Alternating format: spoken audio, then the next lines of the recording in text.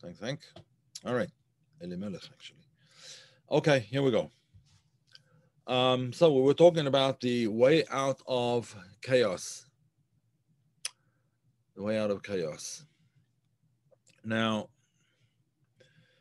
there's a, a, tremendous amount to say about this, but I'm going to try and like narrow it down a little bit, at least to um, to start off at least with one verse, and then explain the verse according to the classical commentaries, and then we'll go into it according to what is called midrashic literature, and then we'll look at the Zohar and the Arizal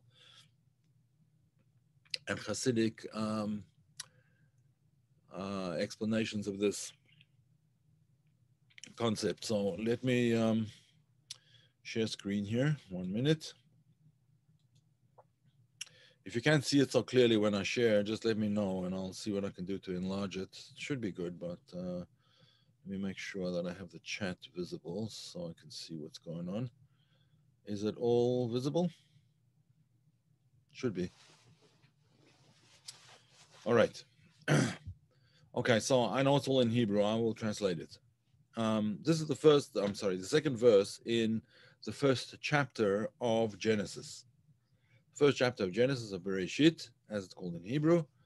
And uh, the first the first verse said stated like this: Bereshit bara Elokim et hashamayim et haaretz. In the beginning, God created the heavens and the earth. Um,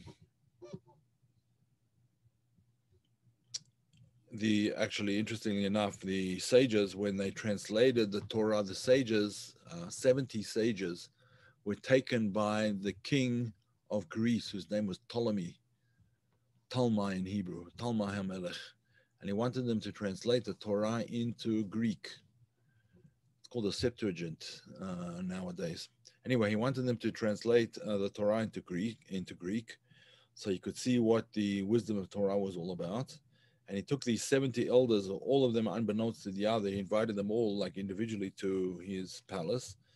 And then he put them in a room, like he basically locked them in a room in different parts of his palace, 70 of them. And he said, Okay, uh, you get whatever you need. Here's pen and paper, and start translating the Torah into Greek. And all of them, all 70 elders, these were the giants of, uh, of, of, of, of, study and learning and understanding and so on, the giants of Torah. And all of them made the same, exactly the same changes throughout. Now, when I, when I say changes, what I mean by changes, is just when they translated into Greek, they didn't want there to be misunderstandings. And um, so one of the things that they did was the first one that they did was actually on that first verse of the Torah, which we don't have over here, where it says, "Bereshit bara Elokim." In the beginning, God created. So they trans they they they switch the verse around and they say God created the beginning, because they didn't want Ptolemy to think that there was a God named Bereshit in the beginning or whatever, and that was the beginning of uh, of of um, that was the beginning of creation. It started from an, from another from another source. So they will change it around. But any in any event, that's just a brief historical thing that might be of no interest to anybody. But whatever. Okay, so we now come to the second verse. This is the second verse in the Torah, right? The second verse, and it says as follows: Va'aretz hayeta. Here we're reading over here. Va'aretz, the land. Now, the land doesn't mean land in particular; it just means the earth right? The earth, the haaretz haita tohu vavohu. Was in a state of tohu and vohu.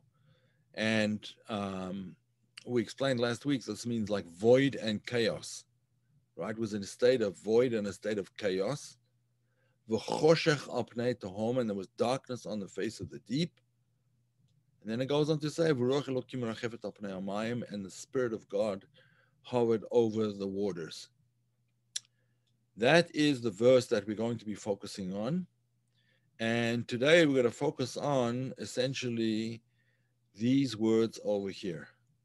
The words to, uh, oops, the word tohu and vohu and choshek and choshek al tohom. Now, the sages, uh, in their wisdom, understood that these are actually different terms. Uh, where do I have that? Here we go. these are actually different terms. There's a term called tohu, and there's a term called bohu. And I'm going to explain these terms shortly. And then there's choshech, oops. Then there's choshech. And then there's alpnei home. These are the ones that we're going to explain. Now, if you, um, oops, if you're playing, if you're paying attention, you'll notice that there are four terminologies here that we're going to talk about. Right? Four terminologies. Tohu, Vohu, Choshech, Apnei Home. In other words, there's four things. There's four aspects of chaos. Four different manifestations of chaos. All of them are chaos. And the chaos is only resolved in the next verse. In the next verse, when it says, Vayomer Elohim or and God said, There shall be light and there was light. We'll get to that uh, much later. That's already talking about the way out of the void, the way out of chaos. But these are four manifestations of chaos, and that's what we want to focus on and try and understand what these four manifestations of chaos are and how they are relevant to us in our everyday lives. Now, they might, might not all be relevant to all of us all of the time, but all of them are relevant to uh, to everybody at some time in their lives, all four levels. So let's just uh, discuss them a little bit. Tell you what, I'm going to highlight it so you'll be able to see it more easily. There it is. All right. Tohu vavo v'choshech.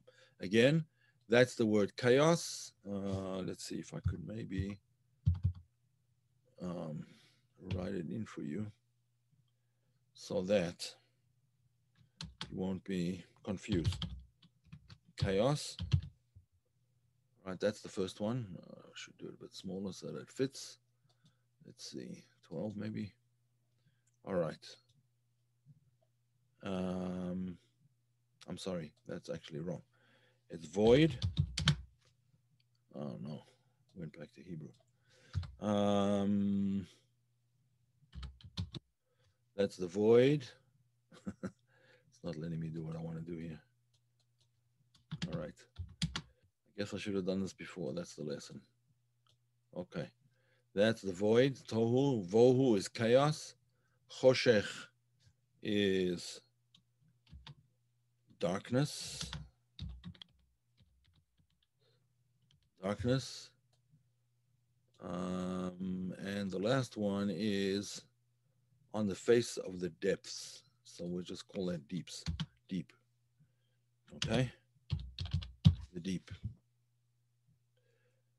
All right, we'll leave it like that. So that's uh, now these these terms over here are not necessarily the English translations, not really good translations. Um, but that's the way they're usually translated: void and chaos and darkness and depths on on the face of the depths. Okay. So let's start to explain. There's a classic commentator called Rashi. Rashi is he was actually a French.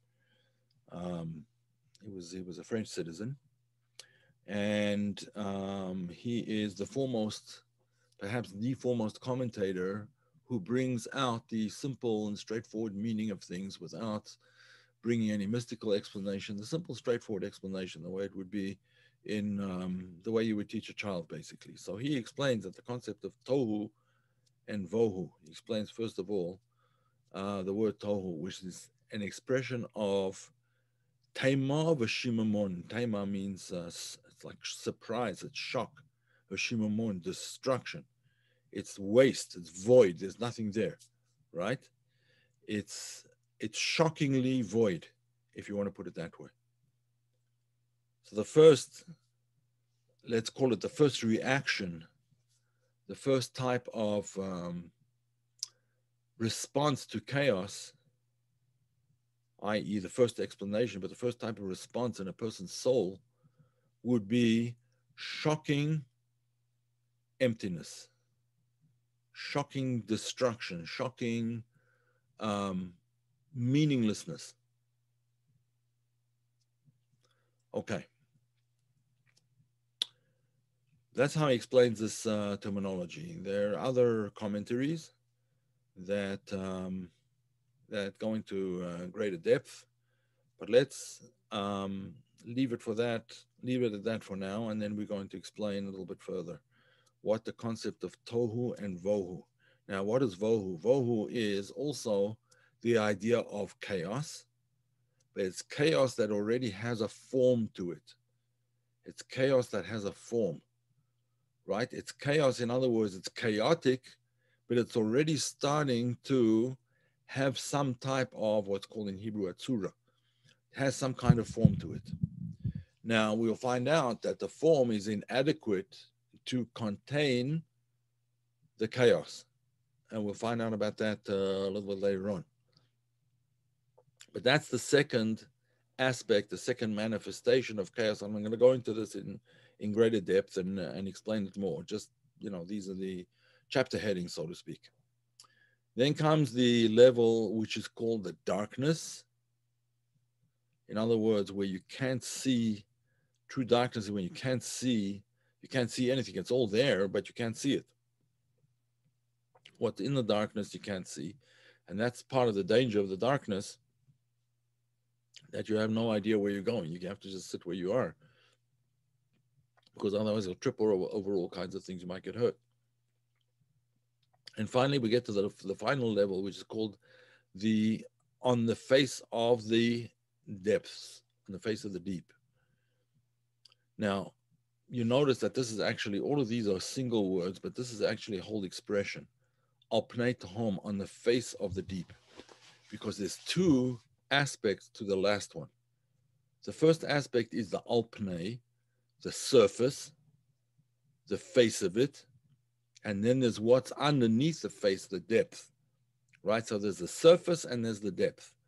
There's what's on the surface, and then there's what's in the depths and the and the surface and the depths are not the same thing. In other words, the face that it shows is one thing, and the depth that there is behind it, in other words, the depth, as we'll see later on, of depravity, the depth of evil, is something that comes out only later and only with a lot of analysis because you can't see it on the surface. The surface presents a smiley face, so to speak. But underneath is turmoil, right? Absolute rottenness and evil and so on and so forth. That's called the deep, the face on the face of the deep. Okay. So far, we're good. So far, everyone understands. Any questions?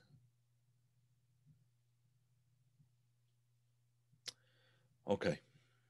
I'm going to skip all of these uh, commentaries. There's actually some very interesting commentaries. Just um, I'll skip the majority of them. I just want to go to uh, to some of the gematrias, some of the um, numerical values. As you probably know by now, every letter in the Hebrew alphabet has a numerical value. The numerical value of the first letter of the Hebrew alphabet is one.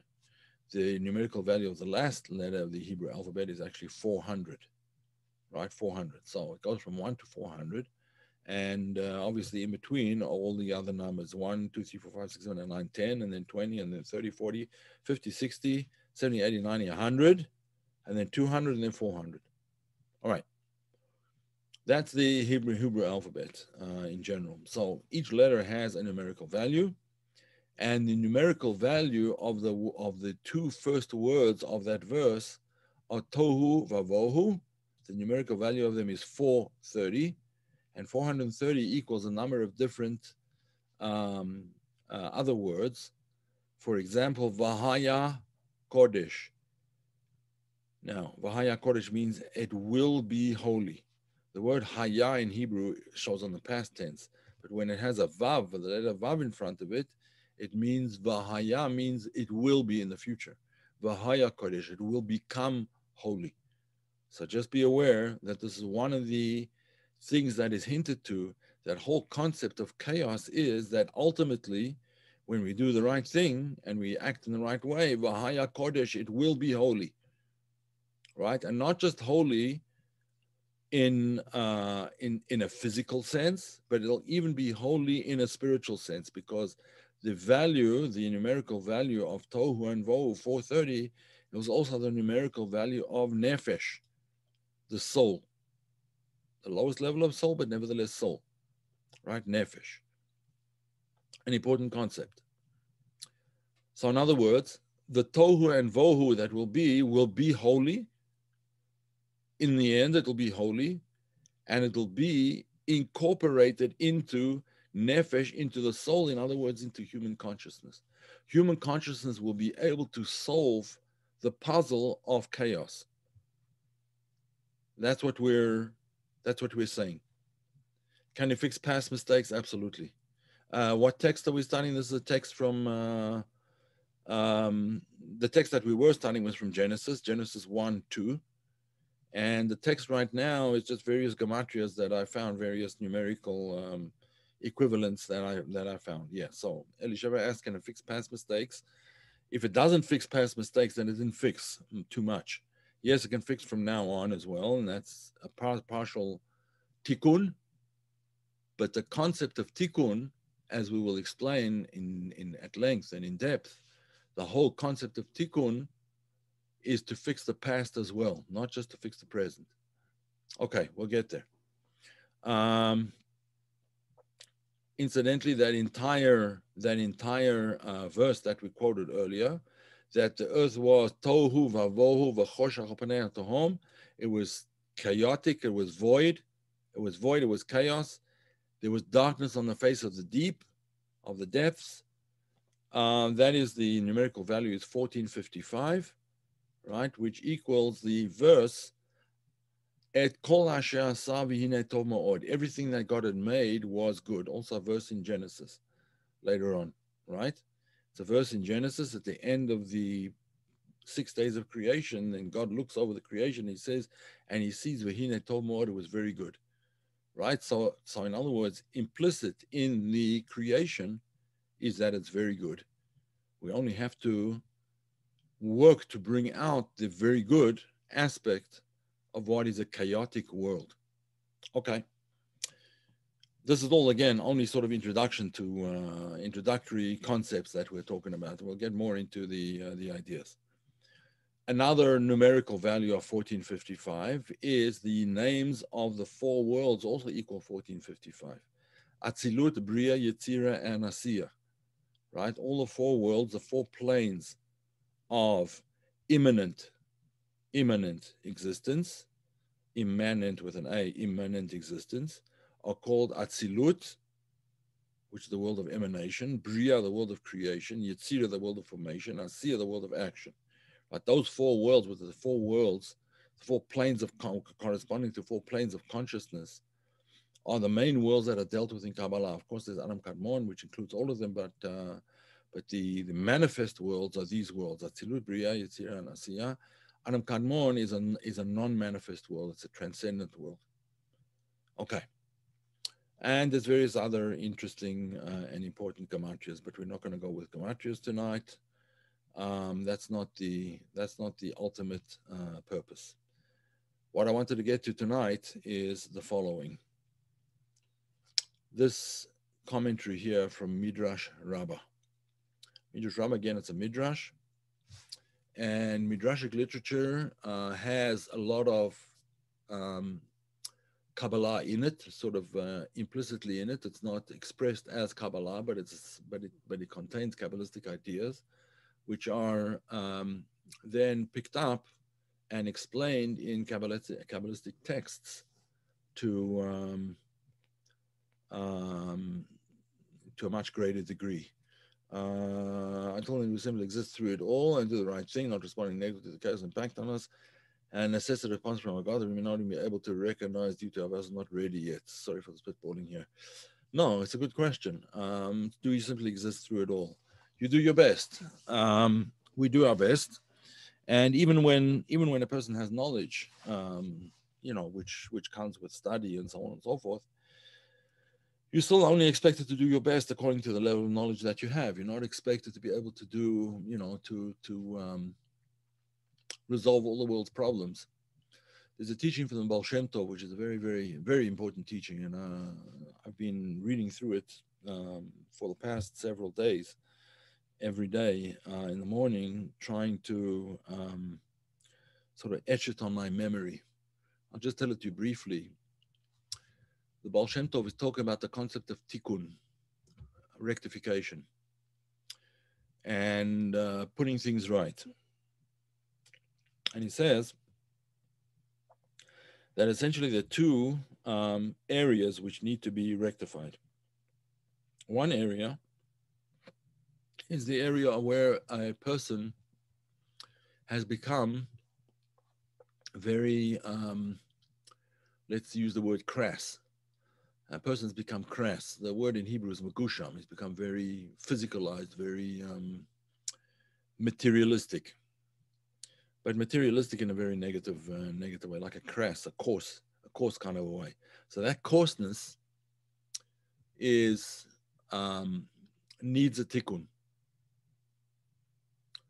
It needs to be elevated to a higher level.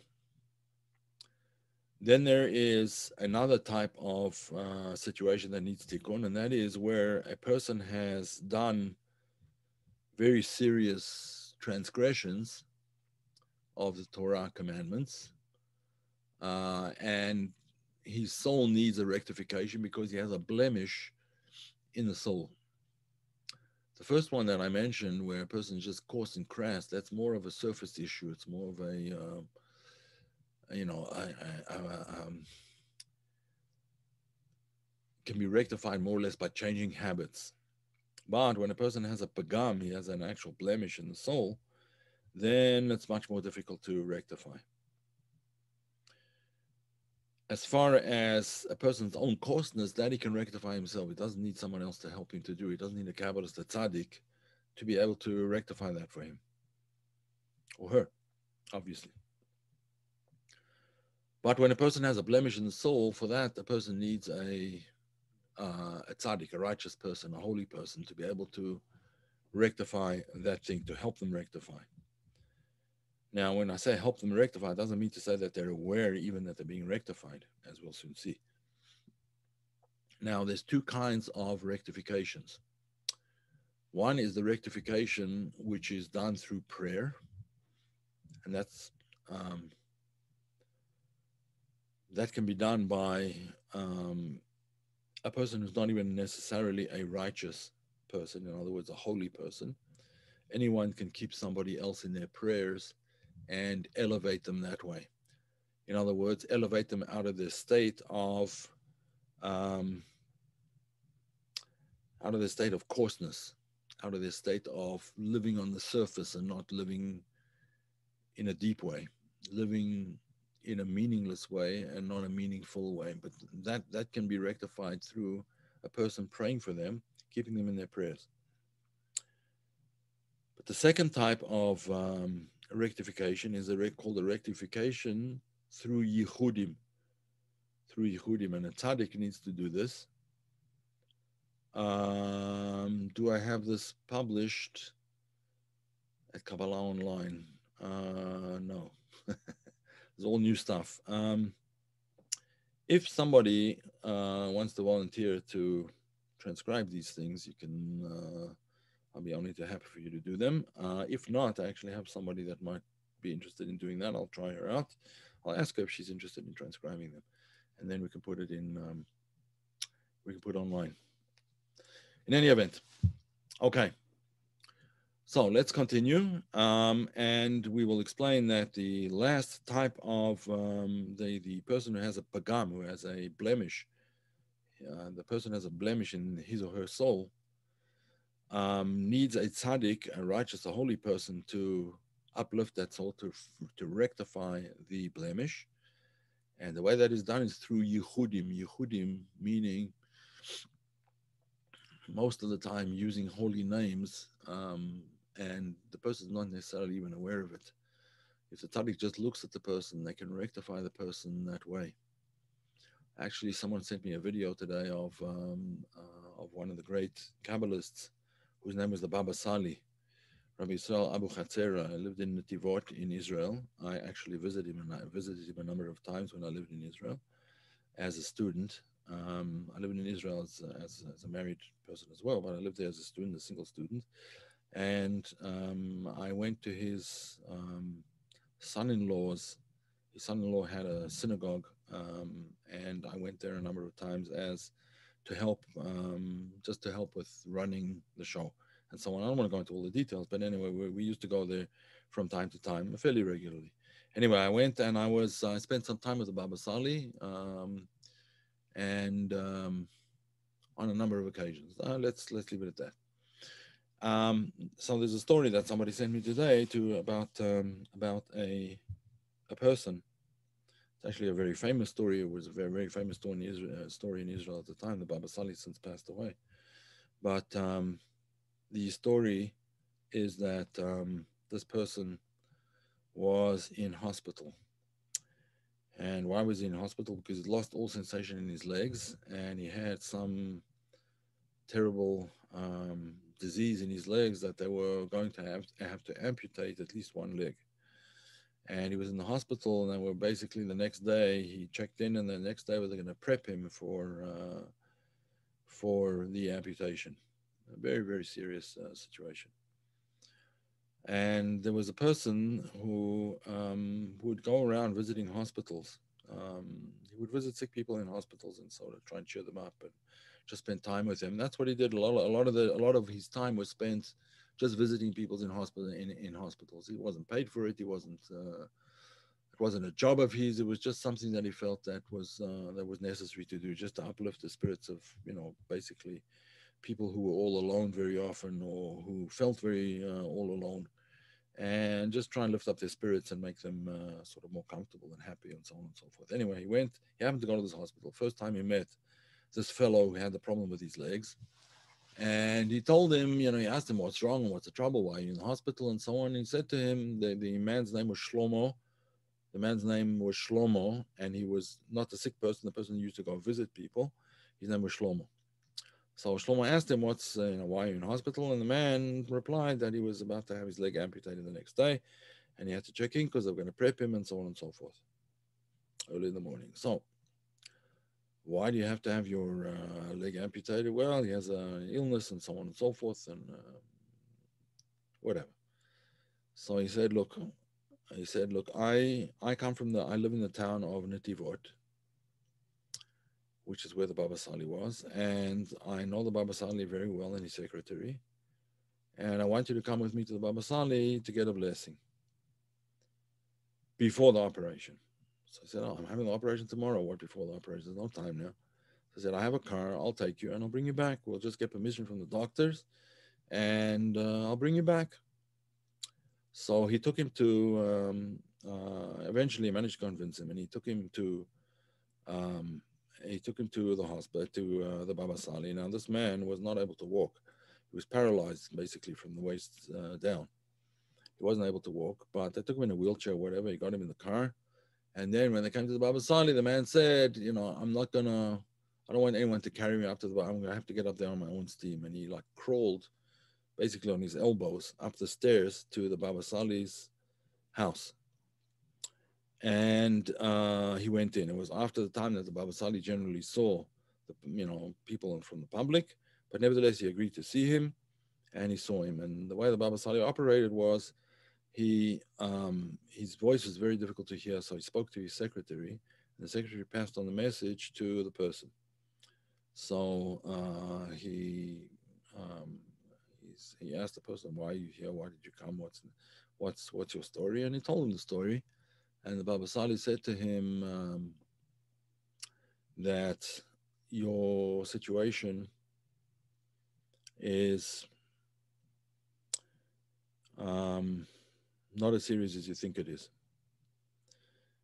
And the man like didn't understand really. He didn't understand, didn't understand what was going on. And um, the Baba Sali said to his secretary, tell him to get up and walk. So I said to the man, get up and walk. He said, I can't, I'm paralyzed. I said, uh, the Baba Sali said, you have to get up and walk. So I said, tell Baba Sali I'm paralyzed. I went back to Baba Sali, told him, the man says he's paralyzed, he can't walk. Baba Sali said again, tell him he has to get up. Right, on his feet. He has to get up on his feet. Now the man hadn't stood for a couple of years already. He hadn't been able to stand. So um, the um, the man said again, I can't stand. And the third time the Baba Sali said, and he raised his voice, tell him he has to stand up and he gave him a little bit of um, arak. Arak is aniseed alcohol. Um, it's I suppose the uh, um, the um, the communities from the east. He was from uh, I think from Morocco originally, so their their their common drink over there was arak. Arak, like an alcohol alcoholic drink, a little bit of alcohol, uh, but it's aniseed. It has like a tasted like licorice almost, right? Aniseed. So I gave him a little bit of arak, and he said, "Drink the arak." He drank it, and he said, "Now get up." All of a sudden, the man started to feel his legs, and he started to feel this tremendous heat in the lower uh, half of his body. And he actually stood up, and he was so shocked that he could, like, he, he didn't know what to do. He just, he just like ran out of the room, and he ran down the stairs, and he ran to the to, to the yeshiva, which was nearby, and uh, they saw him like burst into the yeshiva, and I said, "What's going on? What's going on?" And he just told them what had happened. So they said, go back. The Baba Sali is probably waiting for you. He's going to tell you various things that you have to do, whatever. And anyway, he went back and the Baba Sali gave him a whole uh, bunch of things that he had to do. And to, tell, to cut a long story short, he did not have to have his legs amputated. Now, what actually happened? Was it the arak that he gave him? No. Baba Sali was doing, he was doing yichudim, as we uh, just discussed he was using holy names or whatever it was, and he was the kind of tzaddik. Just by looking at you, he could rectify certain things in your soul. Uh, this person had not been a religious person. He was not Sabbath observant. He wasn't kosher observant, and so on. And from then on, the Baba Sali advised him that it would be a good idea if he started uh, observing some of the Torah laws. Um, you know, and adding uh, from time to time. In other words, start with Shabbat and Kashrut, with the Sabbath and eating kosher and so on and so forth. And so it was. And uh, and he survived, and he was uh, he survived. He didn't he didn't have to have an operation, and, uh, and everything was fine. In any event, that is uh, just one story. There's another story, but I don't want to go into too many stories tonight. Uh, that actually happened to a friend of mine. Uh, more or less a similar story, except uh, the Lubavitcher Rebbe. Uh, more or less a similar, similar story. Okay. Um, yeah. Yeah, he was uh, a person to uh, hold an extreme honor, that is for sure. No question about it. Okay, yeah, I'll, we, we can talk about that if you if you're interested in getting hold of uh, righteous people. I can tell you, I can point you out to a number of people. Okay, right. So back to our subject. Um, the tikkun we will come to. We'll discuss the tikkunim later on, but just to give you an introduction to the idea that there is a tikkun, and we will get to the tikkun. And the tikkun is not necessarily something that you are able to do by yourself. You have to do the maximum you can, but if necessary, a tzaddik, one can uh, invoke the help from a tzaddik and uh, you know hope that everything will go much more smoothly. Okay. All right. We're now going to do what it says in the Midrash. We're going to do this little piece in the Midrash, and um, this is what I'm going to focus on for the next um, for the next bit. Rabbi Shimon Lakish Pata Kraya B'Galuyot. He interpreted this verse of ours, this verse about Tohu and Vohu and, and uh, etc., about chaos and the void and the darkness and uh, on the face of the deep he interpreted he interpreted it interpreted it as referring to exiles. Now we spoke in the first class about the first class on the subject about the concept of galut. The concept of galut is galut means exile. The concept of the galut is that a person first goes into exile internally before the exile externally happens. That's usually the way it works. Sometimes there's an external exile that causes an internal exile, but there's always two exiles. If a person is not exiled internally, he cannot be exiled externally. In other words, if he if he if he he or she completely adheres to their inner redemption, their inner freedom, they will never fully be in exile, even if they're imprisoned and they can't walk outside of their situation.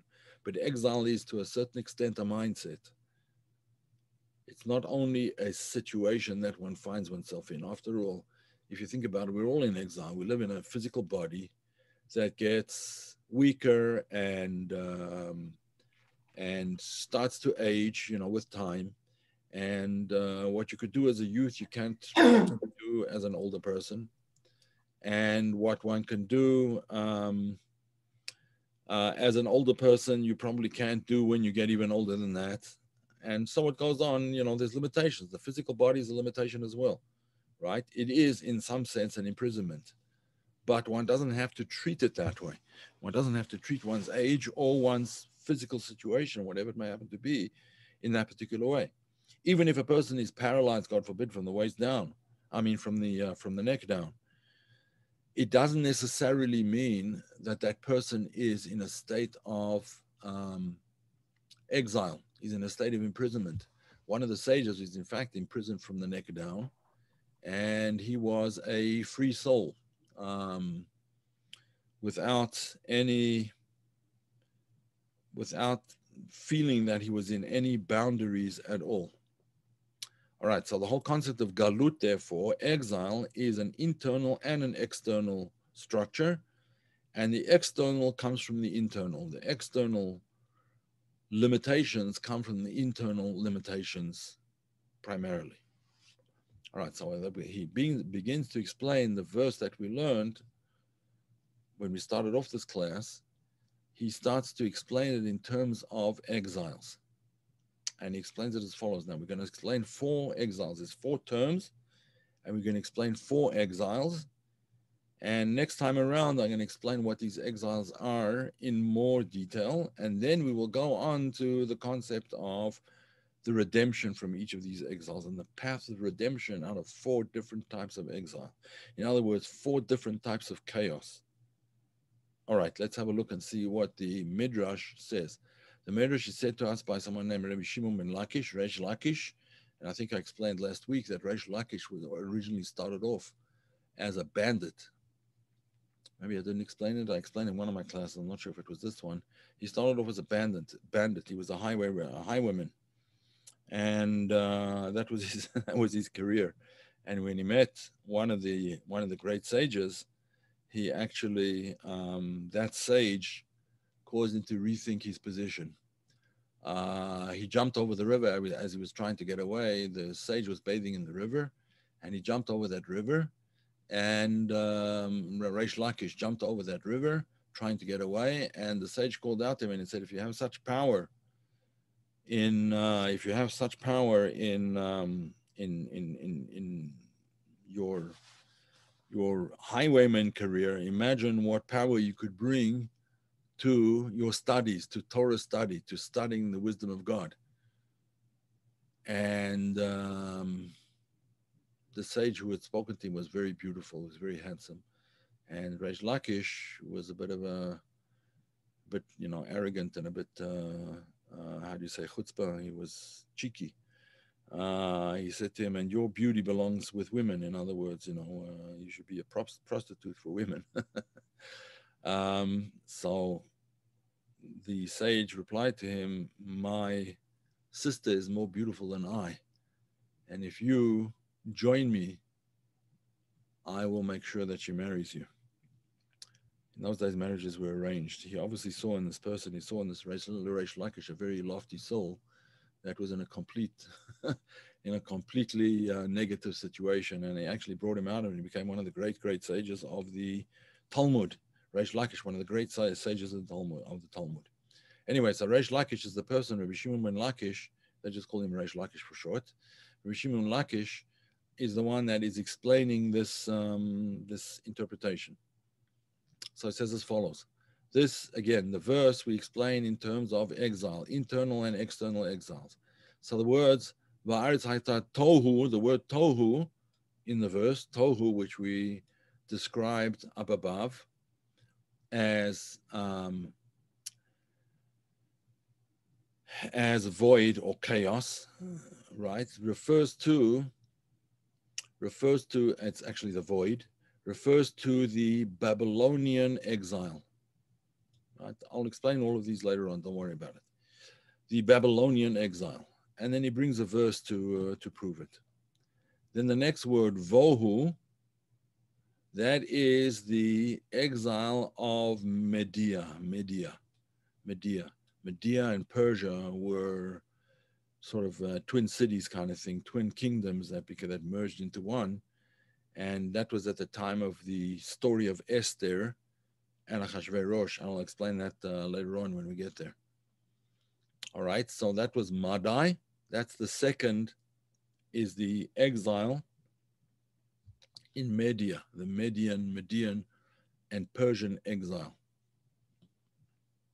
Choshech, darkness, is the exile of Greece.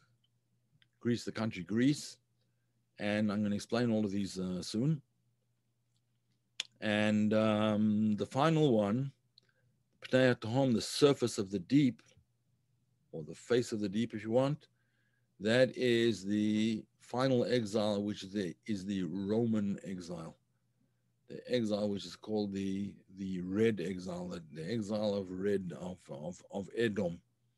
Edom was another name for Esau, another name for Esau, Jacob's brother, and he eventually Edom, uh, in in the form of the Roman Empire, um, caused a tremendous amount of um, anguish to the Jewish people anyway, that's called. Um, those are the four. Those are the four exiles. So again, the first exile was Babylon, the Babylonian exile. The second one was Madai, Media, and Persia. The third one, Greece, and the fourth one, Rome. Now I have them uh, written out over here, and I'm going to explain them a little bit more in depth. All right, we. Uh, i will just read them out for now, and I'm going to explain them next week. Babel, that's Babylon, is the lust for idolatry. Now, what is idolatry? Idolatry is essentially nature without God. In other words, things happen by themselves. There's no divine hand or divine force behind anything. It's all natural causes. And they can't see beyond those natural causes. That was the the the the, the um, um, the kingdom of Babylon was a kingdom that was there were idol worshippers. What's an idol worshipper? Someone who worships a symbol of certain natural powers, and they don't get beyond the symbolism or the natural power which that symbol symbolizes they don't get beyond that to understand that there is a guiding force behind all of creation, behind all of nature, right? The divine force. So there's nature with God out, uh, with God essentially, without God essentially, right? That's nature without God, and that amounts more or less to a lust for control, control of nature, control of things around you, control of your environment, control, thinking that you're in control. Thinking that you're in control is the worst form of idolatry. That itself is idolatry, that I can control everything. Does Babylon, Babel correspond to religion? No. Uh, it depends on which religions, maybe. Uh, certainly, idolatrous religions, maybe, yeah. But um, not religion in generally. In yeah, duality without divinity. Yeah, that's a good way of putting it. Yeah, duality without divinity, or forces of nature without divinity right? Media, Media, which was the exile uh, at the time of Haman and Mordechai, was the exile of what's called in Hebrew pritzut. Pritzut means um, unbounded lust for unbounded sexual appetites, let's put it that way. Uh, lust for women in particular, and on the other side of the coin, lust for men uh, women's lust for men as well. Uh, now, there's nothing wrong with uh, you know with with uh, intimacy, with family intimacy. In fact, it's one of the mitzvot in the Torah, one of the first mitzvot in the Torah. Be fruitful and multiply. You can't be fruitful and multiply without having uh, sexual relations. Obviously, that's that is not only permitted; it's in fact a mitzvah. It's it's a requirement. It's a, it's a, it's a good deed. It's the right thing to do but we're talking here about the lust for it. One of the worst forms of um, one of the worst forms of lust is really, and lust is really used in this particular context, is sexual lust. Um, the word lust is used sometimes for other things as well, but it's for sure primarily used for sexual lust, and that's uh, according to um, Alcoholics Anonymous and uh, I forget what it's called now, the, uh, the one that deals with uh, sexual disorders and so on. Uh, they say that it is a lot more difficult to overcome than um, than alcohol, alcohol disorders. And the reason for that is because it's pleasuring oneself. That's what lust is. That's what this idea is all about. It's no, there's no thought of your partner. Essentially, in a proper sexual relationship, each partner in the sexual relationship should be thinking about the other one and not about himself or herself. What happens in uh, in in, uh, in this lust, this what's called in Hebrew tavat haniuf, the, the lust for for sex, is that you think about yourself, not. Uh, so, in other words, you become the idol in a sense. You become the the the um, the object of your own worship, so to speak. Okay, the third, um, the third exile, the third state of inner exile is called Yavan. That's Greece, and that's knowledge without wisdom. Knowledge without wisdom. There's a lust for knowledge, but a lust for knowledge without wisdom. Now, what's the difference between knowledge, knowledge and wisdom? Knowledge is facts. Well, knowledge is facts that you can derive from. Uh, the Greeks were tremendously um, knowledgeable people. I mean, much of you know Greek philosophy, Greek, uh, much of uh, mathematics stems from the Greeks. Um, um, mechanical knowledge, um, the sciences, a lot of that comes from the Greeks. But it's knowledge without wisdom. What's wisdom? Wisdom is knowing how to put things in the right context and how to attach them to the source. Where does it all come from and where's it all going to? That's what wisdom is, and that's what they didn't have. They didn't have where it comes from. As far as they were concerned, it was from the human mind, the, the power of the human mind. And uh, where's it all going to? It's all going for to uh, bettering our own situation as human beings. And um, what that all involved, we will talk about uh, at greater length later on. And finally, we get to the fourth type of exile, which is the concept of power, but without humility. Power without humility and compassion. There's a lust for power. That was the Roman um, lust, and that was the Roman downfall to a certain extent, although the Roman, Roman Empire continues till today, even though it's not called the Roman Empire anymore, but it's sort of uh, transformed into the Western world. Like largely, that is the um, the uh, the how do, you, how do you call it the characteristic of the uh, of parts of the Western world are the the lust for power, but power without humility, power without compassion, and um, a lot of this is explained in the teachings of the Maharal of Prague, the famous Maharal of Prague. He wrote a book called The Mitzvah Candle, where he spoke about the um, the um, the mitzvah, the um, the commandment, the rabbinical commandment of of uh, of Hanukkah. You know, when you light the candelabra and the whole uh, whole nine yards. So he speaks about it there uh, to a certain extent. Um, in any event, next week we will discuss what's the difference between power and control.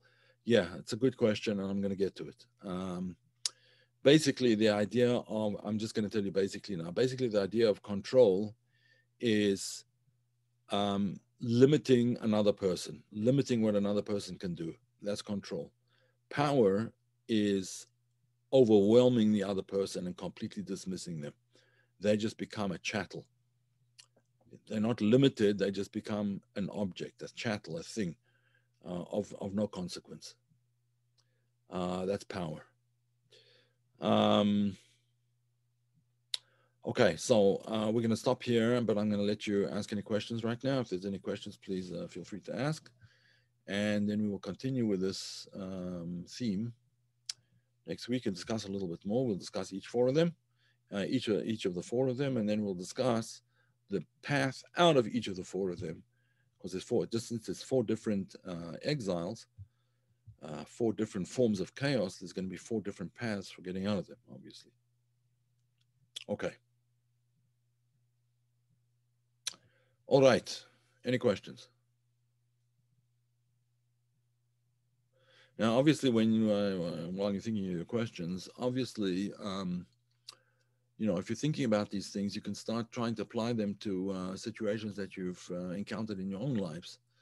Um, and these are broad categories, so there's many things that fit into these categories that would be definitely part of one or the other of uh, of the categories one could say that there are more categories, but really they're uh, perhaps a combination of two of them or even three of them. And um, these are the basic categories which the Torah seems to accept as the four main inner exiles. Again, inner exile is when your inner self is cut off from its source. And um, the question is how to get out of it and how to get back to uh, the path out of chaos, as we said. All right. Folks, any questions? The political stuff, uh, stuff going on right now really shows lust for power without humility. You know, I, I, would have to say that it's on both sides of the political spectrum. Um, on both sides. It's been, uh, you know, let's not get into politics here because it's a very sensitive subject. But um, yes, Ah, you're welcome, Sasson. Uh, you're very welcome. All right. Um, there's specific rectifications for each of them, yes. We will be discussing them. Four inner exiles, four specific rectifications for each of them, yes. Okay. All right, folks. We will stop here and um, I'll put it up on YouTube. As you probably know, the channel is Kabbalah Decoded. If you want to listen to it again or you want to share it with people, it wouldn't be a bad idea to share it with people you think might benefit from it. And um, good. All right. All the best, guys and gals. Uh, Shabbat Shalom to, uh, to all of you. Um, thank you for the, for the good wishes. Alrighty. See you next week. Oh, what am I doing here? I'm supposed to be stopping it. All right. Good night.